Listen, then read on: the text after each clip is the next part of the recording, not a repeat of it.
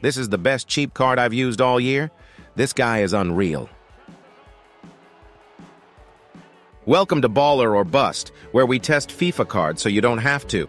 We've got Team of the Season Beier. We acquired him via the market for 20,000 coins. If you need coins, go to U7Buy, use code ZADE for 6% off.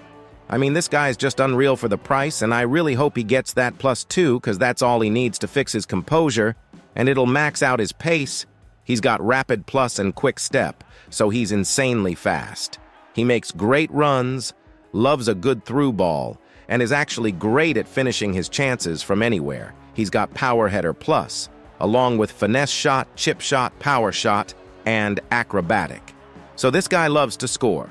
Surprisingly can hit them nicely from distance as well, more placement than power from him. Use a marksman chem style to boost it up a little. Nothing special passing-wise, just decent. Dribbling-wise, he's a little tall, so he's slightly awkward, but he's got lean body type along with technical and trickster, so pretty decent dribbling. Four-star, four-star as well. Not the best strength, but he's tall, so it balances out. Overall, this guy is insanely good for 20k. He's fast. He can score a variety of ways. He has great movement, good dribbling for a big man, can be a through ball merchant, or can be a target man. Really hope he gets that plus two, but what a card for so cheap.